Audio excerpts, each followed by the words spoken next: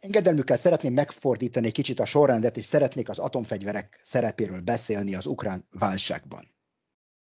Tehát ahhoz, hogy ezt a, ezt a témát kicsomagoljuk, meg kell vizsgálnunk három dolgot. Az orosz doktrinát, az orosz kalkulust, mi, mik azok a, a, megfontolások, amik szerepet kapnak, mikor Oroszország eldönti, hogy fog-e vagy nem fog taktikai atomfegyvereket használni, és a, milyen opciók állnak a rendelkezésére.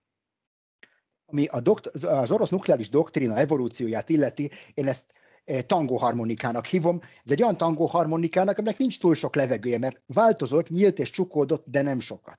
Nem sokat. Mit látunk? Mit látunk? Nagyon fontos mérföldkő 1993-ban Oroszország visszavonja a régi Szovjetuniónak azt a e, nyilatkozatát, vagy azt az elkötelezettségét, hogy nem fog elsőként atomfegy, atomfegyvert bevetni. Miért? Azért, mert konvencionálisan gyengébbek, és pont, pont úgy, hogy valamikor mi voltunk konvencionálisan gyengébbek, és megígértük, hogy mi igenis fogunk taktikai atomfegyvert használni, most az oroszok vannak ebben a pozícióban. Most amit itt látunk, én kicsit fölgyorsítom a dolgot, itt látjuk a, a, az orosz nukleáris doktrinának az evolúcióját, a különböző állomásokat.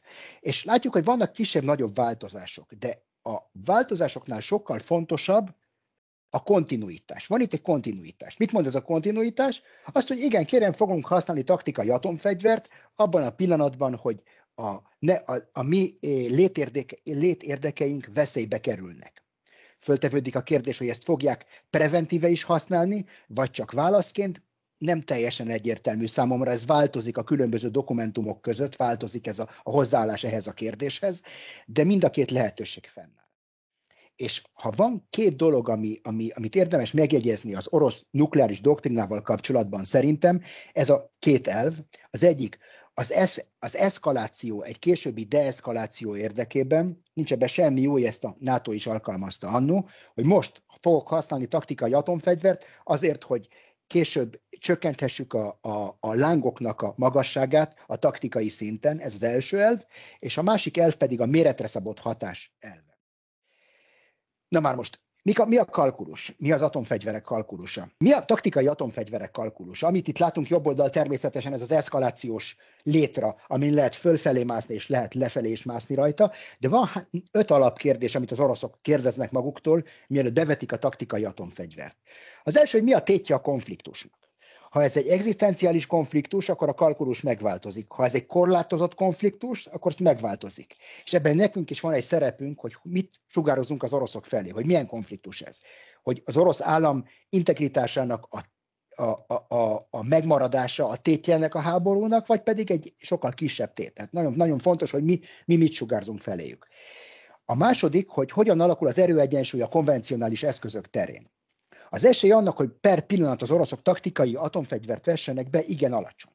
Viszont ha mondjuk a Baltikumban a NATO össz csapatösszevonásokat eszközöl ki, és egy komoly taktikai fenyegetés, egy komoly, nem taktikai, komoly hadműveleti fenyegetés alakul ki a Baltikum irányából, akkor ennek az esélye növekszik, és az oroszok elkezdenek fölfelé mászni ezen a, ezen a létrán. A harmadik kérdés, mi az eszkaláció ára? Mi történik akkor, ha bevetünk egy taktikai atomfegyvert? A negyedik, és szerintem ez egy nagyon-nagyon fontos kérdés, hogy szerintem az oroszok nem fognak bevetni taktikai atomfegyvert, hogyha nem biztosak abban, hogy legalábbis elégséges módon fogják tudni kontrollálni a, az eszkalációnak a dinamikáját. Hogy ez mennyire, mennyire veszítik el az uralmat e fölött a dolog fölött. Nagyon-nagyon fontos, mert semmi logika, semmi stratégiai logika nincs abban, hogy egy korlátozott célú háborúért elpusztítjuk Moszkvát, és elpusztítjuk Washingtont, és elpusztítjuk New Yorkot. Nincsenek semmi értelme. Tehát nagyon fontos a kontroll a lángok magassága fölött.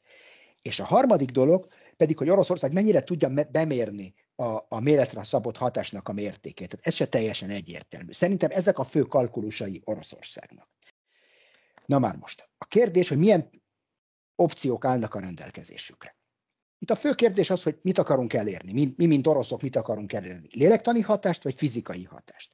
Ha lélektani hatást akarunk elérni, akkor van egy egész étlap, mint egy francia vendéglőbe, kezdődik a rakétakísérletekkel, ugye ebben látjuk, látjuk Észak-Koreának a, a balisztikus kéregetését, mindig, mikor kell egy, kell egy kis pénzt, akkor elküldik a repülő, a repülő ATM-et, elküldik Japán felé, és akkor mindjárt jön egy kis pénz. Lehet csinálni nukleáris kísérletet, vagy lehet fölrobbantani atomtölteteket, hogy egy demonstrációt hajtsanak végre.